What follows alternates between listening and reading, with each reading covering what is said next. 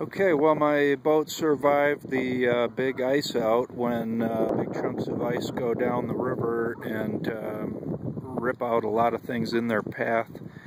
Um, still got a little bit of ice on the boat and for some reason the bow is down really far so I'm kind of assuming that uh, my forward flotation bulkhead is broken but uh, it might just be all the weight of the ice that is still on the boat. I don't know.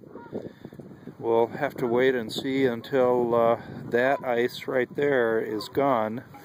Uh, things may look different when that melts. It's 45 degrees today. The motor is still there. The motor mount has uh, sort of been ripped.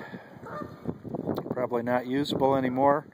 Uh, the the uh, aft end of the boat, the stern is above the opening for the rudder, which is a good thing. That means that my flotation bulkhead in the back is working.